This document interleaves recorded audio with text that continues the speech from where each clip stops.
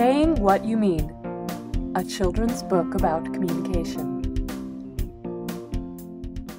You are a communicator.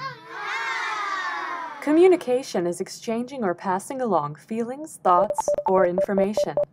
A communicator is one who exchanges or passes along feelings, thoughts, or information. Sometimes you use your head to communicate. Yes. No. Sometimes you use your face to communicate. I'm happy. I'm sad. Your face can communicate. I'm mad. I'm annoyed and frustrated. Your face can communicate. I'm thinking. I'm confused. Your face can communicate. I'm surprised. I'm worried. Your face can communicate. I'm scared. I'm disappointed. Sometimes you use your hands to say, No. Okay. Your hands can say, I hope so, too. Your hands can say, Shh, that's too loud. I can't hear. Sometimes you use your arms and hands to communicate. Hello and goodbye. Over there, your arms and hands can say, You, me. Your arms and hands can say, Give it to me.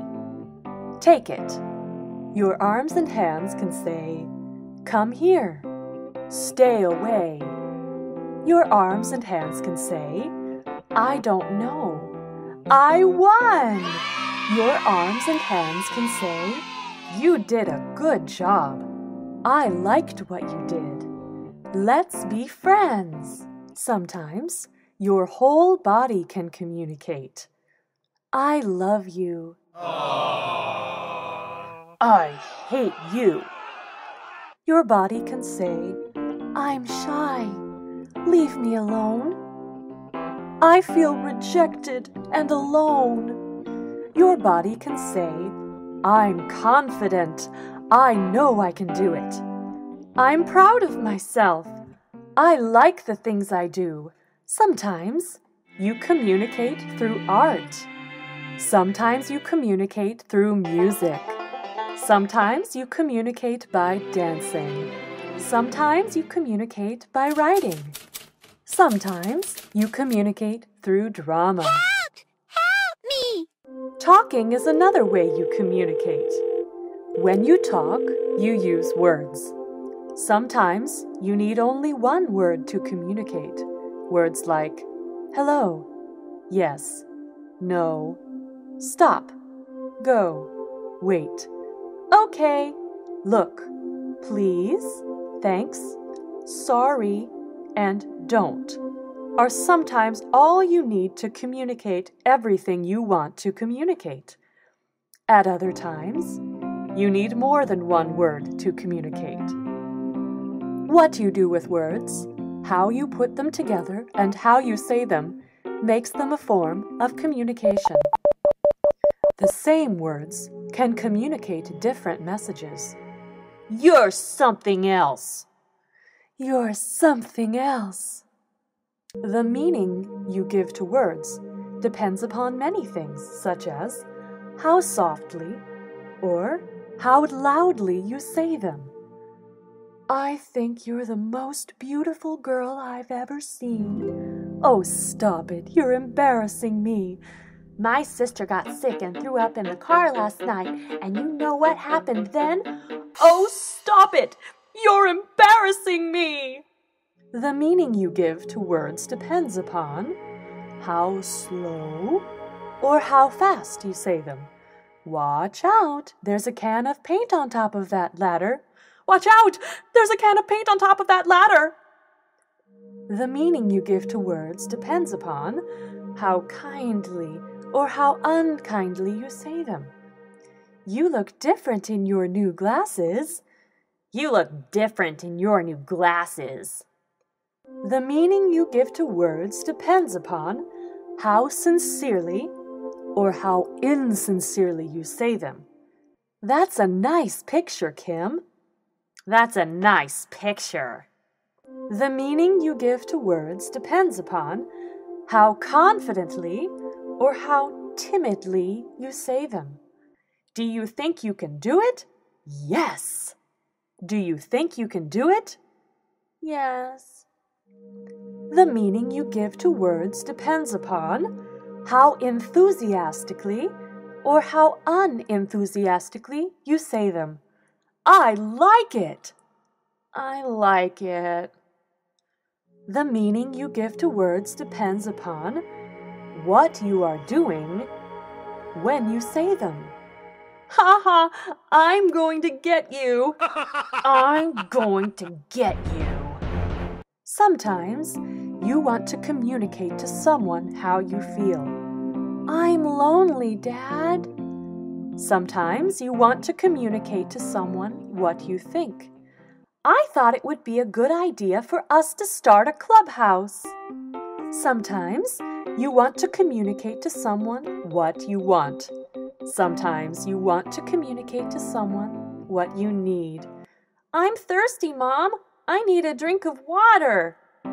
Sometimes you want to communicate to someone your hopes and dreams.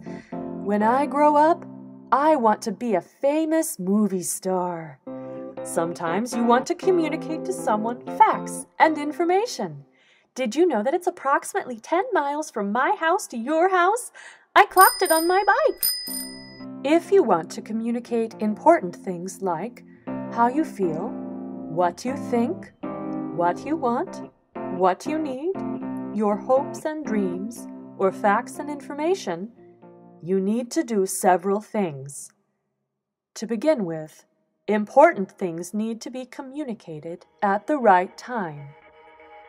It is not the right time to communicate important things if you are too busy to think about what you are saying, or if the person you want to communicate with is too busy to think about what you are saying. Did you want to talk to me now? Not now, Mom. I'm putting my model together. Mother, I want to talk to you right now. You need to wait for a time when you can communicate. Mom, I'm not busy now. Can you talk? You need to wait for a time when the person you want to communicate with can listen, and then, I'm not busy. I can talk to you now. Communicate. Second, important things need to be communicated to the right people. People who are not interested in you are not the right people to whom you should communicate important things. People who are not interested in what you are saying are not the right people to whom you should communicate important things. I really don't care.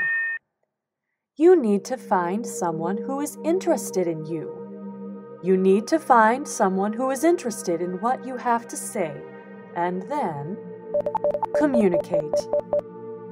Third, important things need to be communicated accurately and honestly. This boy's communication is accurate and honest. That looks fun. I wish I could play. This boy's communication is not accurate and honest. I don't want to play with you guys. What you're doing is dumb. This girl's communication is accurate and honest. I wish Mother would pay more attention to me. This girl's communication is not accurate and honest. I hate babies. They cry too much. This boy's communication is accurate and honest. I hope the teacher will like my picture and hang it up on the wall. This boy's communication is not accurate and honest.